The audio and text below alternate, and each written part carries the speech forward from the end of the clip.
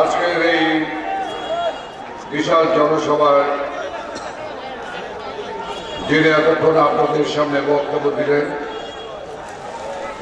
আমাদের সেই সংগ্রামী নেতা এককালের তুখর ছাত্র নেতা, বাংলাদেশ আওয়ামী লীগের সংগ্রামী সাংগঠনিক সম্পাদক এবং চট্টগ্রাম বিভাগের বিশেষ দায়িত্বে নিয়োজিত সাংগঠনিক সম্পাদক। আমার বন্ধুবর জনাব আহমদ হোসেন।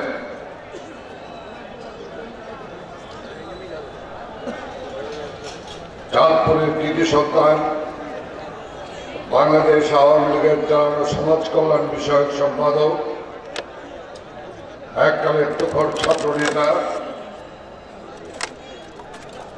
মানুষের দুঃসময় দুর্দিনে যিনি গান কার্যক্রম নিয়ে মানুষের কাছে শেখ হাসিনার পক্ষ থেকে হাজির হন সেই সংগ্রামী নেতা জনাব সুজিত রায় নন্দী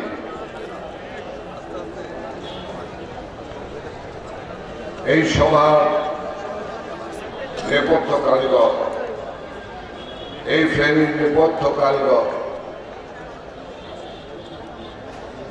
বঙ্গবন্ধুর জাতির পিতা বঙ্গবন্ধুকে সপরিবারে হত্যার পরে যিনি চট্টগ্রামকে সংগঠিত করেছেন, চট্টগ্রাম বিশ্ববিদ্যালয়কে সংগঠিত করেছেন। পঁচাত্তরের পনেরোই আগস্টের পরে স্বৈরাচার ফেসিবাদের বিরুদ্ধে লড়াইয়ে যিনি নেপথ্য নায়ক নেপথ্য কারিগর হিসেবে দায়িত্ব পালন করেছেন। আমাদের সেই সংগ্রামী নেতা ফেরের কৃতি সরকার। আমরা যাকে নিয়ে গর্ব করি আমাদের ভাই জনাব আলাউদ্দিন আহমেদ চৌধুরী নাতি এই সভায় বক্তব্য দিয়েছেন এককালের মহান দুঃসময় দুর্দিনের ঢাকা মহানগর যুবলীগ দক্ষিণের সংগ্রামী সভাপতি। আজকে ঢাকা মহানগর আওয়ামী লীগের সংগ্রামী যুগ্ম সাধারণ সম্পাদক। আমার ভাই জনাব মহিউদ্দিন আহমেদ যুবলীগের দুঃসভার আর এক কাণ্ডারি এই সরকার বাংলাদেশ আওয়ামী যুবলীগের প্রেসিডিয়ামের সদস্য, সংগ্রামী নেতা জনাব মঞ্জুর আলম শাহিন আমি খুব অল্প দু চারটি কথা বলে আপনাদের কাছ থেকে বিদায় আমি নাসির ভাইকে বলেছি যে আমি আসলে কখন গিয়ে ঢাকা পৌঁছবো? আর ঢাকা থেকে আবার আগামীকাল বগুড়া এবং শেরপুরে যদি সভা আছে। সেই সভার উদ্দেশ্যে ফজরের নামাজ আদায় করে আমাকে রওনা করতে হবে। আমরা আসলে এসেছি, এই সবাই আমাদের বিলম্বিত হয়েছে, আপনাদের কষ্ট হয়েছে। আমরা এসেছি নোয়াখালীর চৌমহনীতে জনসভা শেষ করে আমরা আপনাদের এই সভায় এসেছি।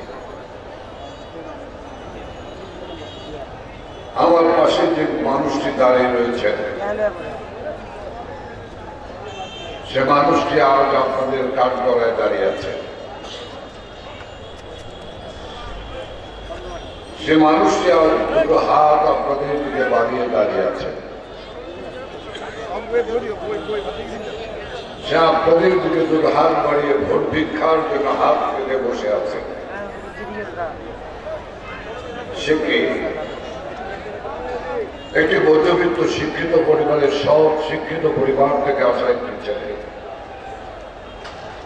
যে তার ছাত্র জীবনে লেখাপড়ার মাঝে বঙ্গবন্ধুর রাজনীতির ছাত্রলীগকে লালন পালন ধারণ করেছে।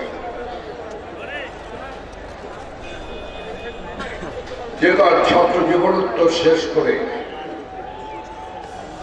আমি যখন যুবলীগের চেয়ারম্যান হিসেবে দায়িত্ব পালন করি, সেই দুঃসময় দুর্দিনে এই ফেনী জেলা যুবলীগের দায়িত্ব যুগ্ম আহ্বায়ক হিসাবে দায়িত্ব পালনের মতো গুরু দায়িত্ব দিয়েছেন।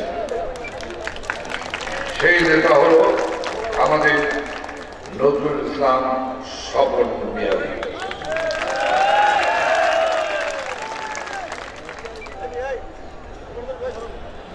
আমি কোরআনের একটি আয়াত থেকে একটু উদ্ধৃতি করতে চাই قل اللهم مالك ملك تؤتي الملك من تشاء وتنزل الملك ممن تشاء وتعز من تشاء وتذل من تشاء بيدك الخير انك على كل شيء قدير تولد الليل في النهار وتولد النهار في الليل وتخرج الحي من الميت وتخرج الميت من الحي وترزق من تشاء بغير حساب আমার সামনে অনেক গোল টুপি পরা দাঁড়িয়ালাম হুজুরেরা এখানে মুরব্বীরা আছে আমি আয়াতটা ঠিক মতো পড়তে পারছি কিনা শব্দ করেন না কেন? সহি পড়েছি। উত্তর এটার তর্জমা বলতে পারবেন? এটার তর্জমাই হলো এটা। আল্লাহ তার কোরআনে বলেছেন, আমি ইজ্জত ইজ্জত দেই। আমি ইজ্জতের মালিক। আমি ইজ্জত দেই আমার, আমি ইজ্জত প্রত্যাহার করে নিয়ে যায়। যে ইজ্জত পাওয়ার পর আত্মহমিকায় ভোগে, তার কাছ থেকে আমি আমার ইজ্জত প্রত্যাহার করে নিয়ে যাই।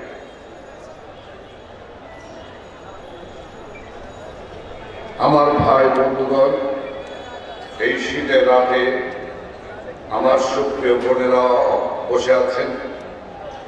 আমার শ্রদ্ধা মরিদগণ আমার ছাত্র বন্ধুরা, আমার যুব বন্ধুরা আমার শ্রমিক ভাইয়েরা, এই পৌর এলাকার সম্মানিত পৌরবাসী ভাই বোনেরা, আগামী তিরিশ তারিখ সেই ইমানই পরীক্ষা হবে। আমি বিশ্বাস করতে চাই, আমি বিশ্বাস করি, এই ফেরি পৌরবাসীর ইমান, বিবেক বুদ্ধি অত্যন্ত জাগ্রত, সচেতন এবং সজ্জা। সঠিক ইমানই আমি এই ফেনীপুরবাসীকে আমি বিশ্বাস করি।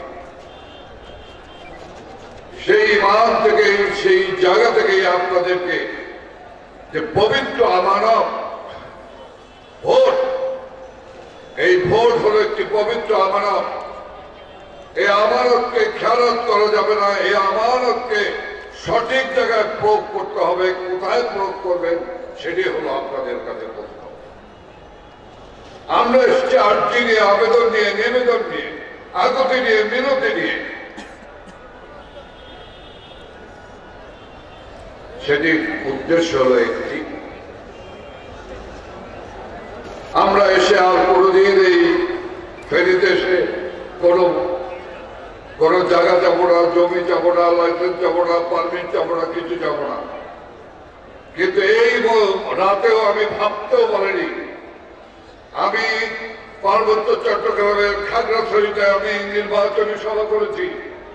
আমি বাংলাদেশের আর এক প্রত্যন্ত অঞ্চল পঞ্চগড়ে আমি নির্বাচনী সভা করেছি। আমি কুতুবদিয়ায় নির্বাচনী সভা করেছি।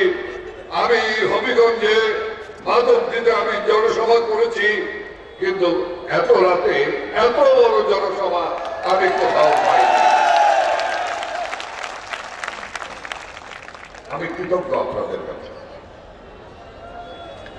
এই মঞ্চে যখন বসেছিলাম, তখন এই বৃহত্তর নোয়াখালী এলাকার কৃতি সন্তান, জননেত্রী শেখ হাসিনার বিশ্বস্ত ভ্যান্ডার গণপ্রজাতন্ত্রী বাংলাদেশ সরকারের সর্বঘোষিত মন্ত্রণালয়, মাননীয় মন্ত্রী, যারা মোবাইদুল কাদের আমাকে ফোন করেছিলেন।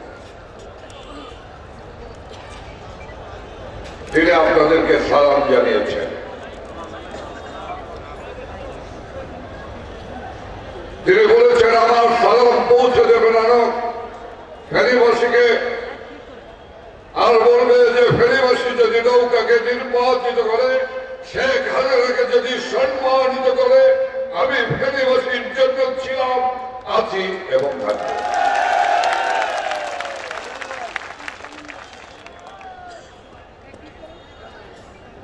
নির্বাচনে দাঁড়ালে আমিও দুবার এমপি ছিলাম। এখানে আপনাদের প্রিয় নেতা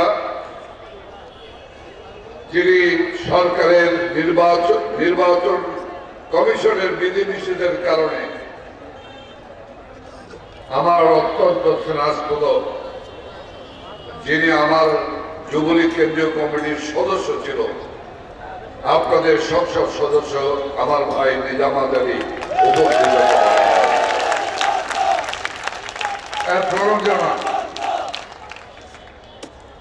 আমি আপনাদেরকে শুধু আপনাদের বিবেকের কাছে প্রশ্ন রাখতে চাই। যে কথা আমার ভাই আলাউদ্দিন আসিফ আলাউদ্দিন আহমেদ চৌধুরী নাসিম হলো আর এক কারিগর। আমি ওকে সম্বোধনের সময় বলেছি কারিগর। ফুলের মালা আমরা নেই, ফুল আমরা নেই। ফুল আমার বোনেরা খুব ভালোবাসে। কিন্তু এই ফুলের যে নেপথ্যে রয়েছে যে মালি সেই মালির কেউ খোঁজে না, খোঁজ দেয় না। হ্যাঁ? কেউ কোনোদিন জিজ্ঞাসা করেছেন যে মালিকে, আসলে এই এই ফেরি আওয়ামী লীগ, যুবলীগ, ছাত্রলীগ তথা ফেরির নেপথ্য মালি হল আলাউদ্দিন আহমেদ চৌধুরী। শুধু তাই নয়, শেখ হাসিনার যত দুঃসময় দুর্দিন হয়েছে আমি ছাত্রলীগের রাজনীতি করেছি, আমি যুবলীগের রাজনীতি করেছি। আমি এগারোর সময় আমি এবং আমার ভাই নির্যাতন প্রতিরোধ গড়ে তুলেছি।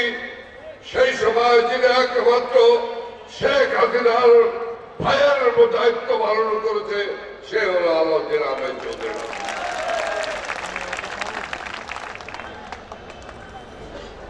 রাষ্ট্র ক্ষমতায় আওয়ামী লীগ রাষ্ট্র ক্ষমতায় সফল রাষ্ট্রনায়ক শেখ হাসিনা। এই ফেরির শান্তির শান্তিতে, শান্তির সুমতার বইছে আজকে এই ফেরিতে আমি এসেছি। এই ফেরিতে আমি এসেছি ছাত্রলীগের যুগ্ম সাধারণ সম্পাদক হিসাবে, ছাত্রলীগের সাধারণ সম্পাদক হিসাবে, যুবলীগের সাংগঠনিক সম্পাদক হিসাবে যুবলীগের জয়েন্ট সেক্রেটারি হিসাবে যুবলীগের চেয়ারম্যান হিসাবেও আমি এই ফেরিতে এসেছি। আমার সে সময়ের স্মৃতিগুলো মনে পড়ে।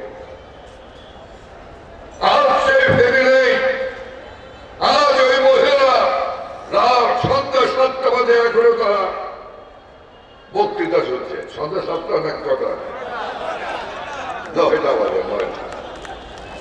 নয়টা বাজে, তখনও এই মহিলা এখনও বক্তৃতা শুনছেন আমার মুরব্বীরা, আমার ফিটনেস সমতুল্য মুরব্বীরা। তারা বক্তৃতা শুনছেন, তারাই মেনে আছেন এই এই শান্তির সমাধান এই ফেরিতে এই শান্তির সমাধানকে যদি রক্ষা করতে হয়, তাহলে সফল বিয়ে দিতেই ভোট দিয়ে নির্বাচন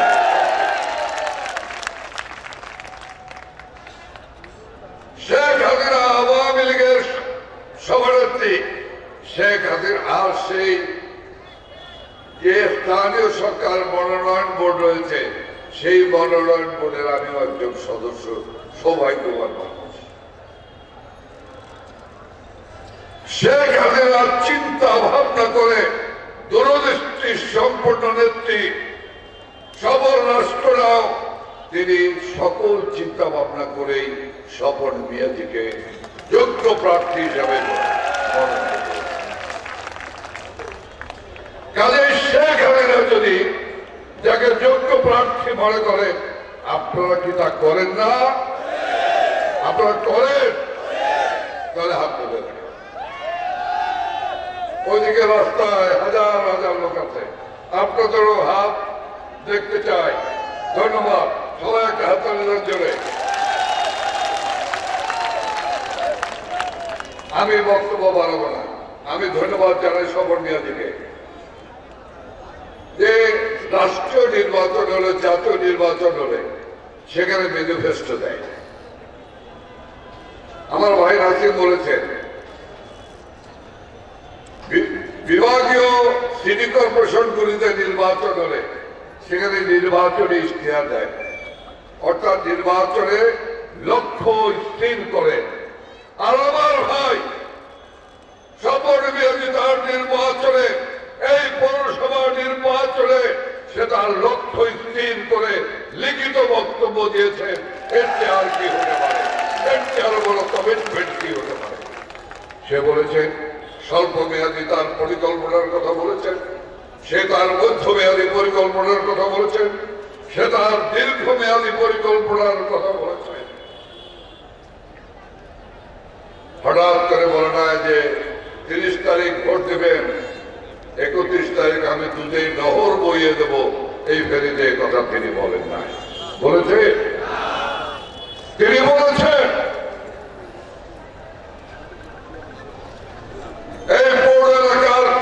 কোন রয়েছে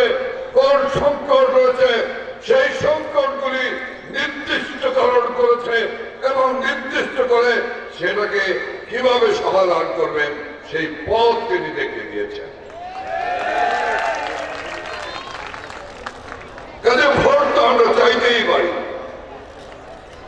সরকার যখন পরিবর্তন হবে না তখন নৌকার তালে কেন নৌকার নৌকার সাথে কেন তাল মিলাবেন না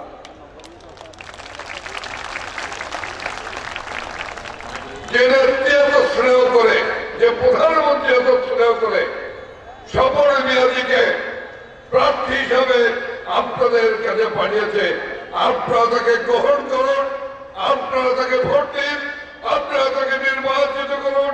শেখ হাসিনা তার তার মাধ্যমে আপনাদের সঙ্গে একটি সেতু বন্ধ সৃষ্টি।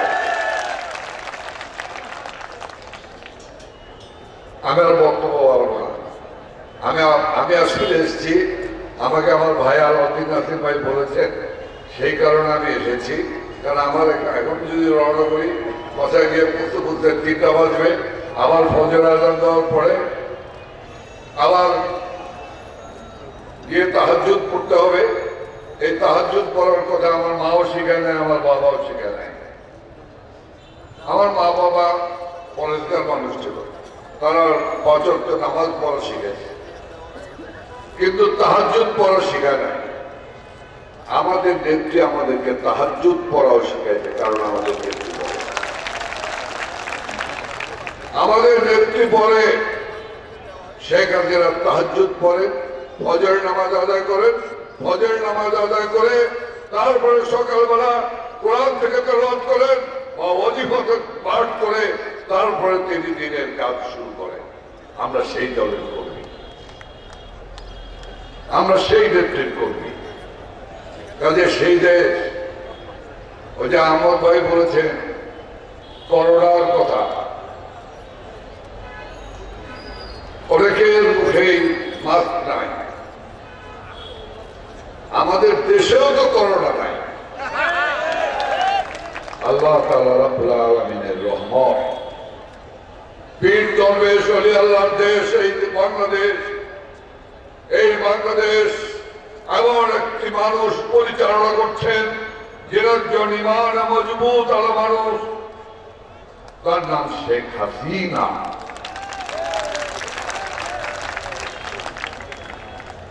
আমি আর বক্তব্য বাড়াবো না। আমি আপনাদের সকলকে ধন্যবাদ জানি। শুধু দলের ভোট চাই না, বিবেকের কাছে রাখতে চাই। শেখ হাসিনার প্রার্থীকে ভোট দেওয়া মানে শেখ হাসিনাকে সম্মানিত আমি বিশ্বাস করি তিরিশ তারিখ এই ফেনীর মানুষেরা শেখ হাসিনাকে সম্মানিত করবেন আপনাদের সকলকে ধন্যবাদ জানাই। আপনাদের কাছে করজোরে ক্ষমা চেয়ে নিচ্ছি। যে দীর্ঘ এই কড়কড়ে শীতের ভিতরে আপনারা অনেক সময় ধরে বক্তৃতা শুনেছেন। সেই কারণে আপনাদেরকে সকলকে ধন্যবাদ। খোদা হাফেজ। জয় বাংলা জয় বাংলা।